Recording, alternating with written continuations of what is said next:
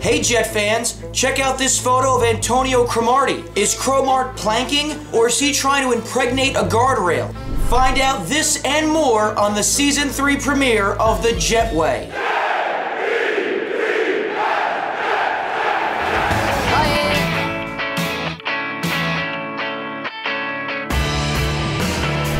Welcome to the Jetway, your exclusive home for mindless commentary on all things dumb and all things NY Jets football. Let's hop right into it with something we're calling the top three most somewhat interesting moments from the Jets 2011 preseason. Number three, Jets against Texans in Houston. Gang Green leaves the halfback open in the flat and give up the touchdown. Texan fans love it, and so do a couple of moron Jet fans who have zero clue what's happening on the field. This was in the second quarter. I can't imagine how wasted these girls were in the fourth quarter.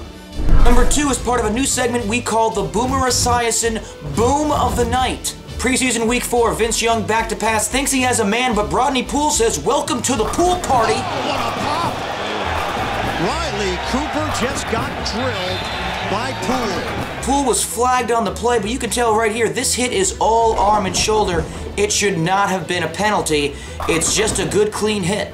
And number one, the league's new kickoff rule that bumps up the tee by five yards has not been well received around the league. And special teams coach Mike Westhoff says he's been losing sleep over the change. Well, apparently also unable to get some rest, Westhoff's giant nipples.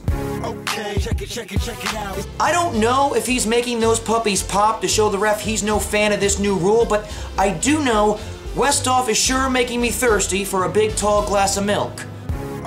Check it, check it, check it out. The one good takeaway from the Westhoff Nipplegate debacle, besides it reminding women of the dangers of going out in public without a brassiere, it also gave us the opportunity to see how the Jet coaches plan on communicating with one another during the season. Let me explain. 1452 in the third, and the Hard Nips are out kicking ass and cutting glass. A dumbfounded Rex Ryan has no clue how to ask his coach to cover up, so he radios up to the Oracle, former Colts coaching legend Tom Moore, who takes complete control of the situation, hops on the PA system, and shouts for all to hear.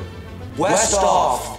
Westhoff! Cover up them titties! And then boom, 817 in the third, Westhoff has them nipples covered up, and boy does he look embarrassed. Compliments to the Jet coaching staff for alerting themselves to the problem and correcting it quickly. Again, our number one most somewhat interesting moment of the Jets 2011 preseason, Westhoff's giant nipples. Thank God his last name's Westhoff and not Shirthoff. And we're out of here. But first, check out my boy Plaxico, or as I call him, Plaxicool, scoring his first touchdown as a member of the New York Jets. Until next time, let's go Jets.